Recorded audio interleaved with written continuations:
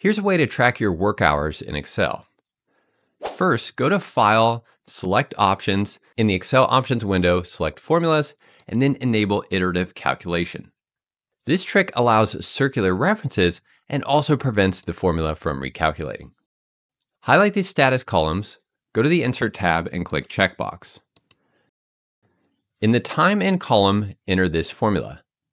This formula will insert the current time when the Time In checkbox is checked.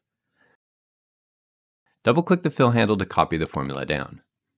In the Time Out column, enter this formula. This formula will insert the current time when the Time Out checkbox is checked.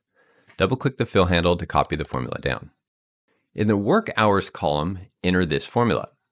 This formula calculates the hours worked if the cells are not blank. Then double-click the fill handle. When you tick the checkboxes, it will automatically fill in the times and calculate your total work hours. It's that easy.